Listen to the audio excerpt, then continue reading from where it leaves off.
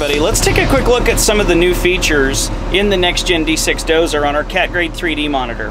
First one I want to show you is the different screen views. So in this case, uh, I had my three view screen. This is my single view screen. I'm using two fingers to slide between those different views.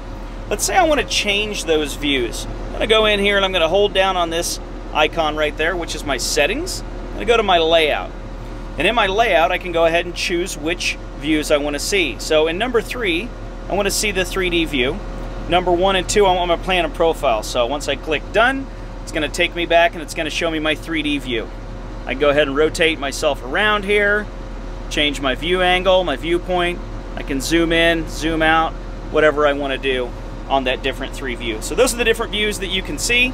Again, if I wanted to go in and change one of those other views, I could do that as well too.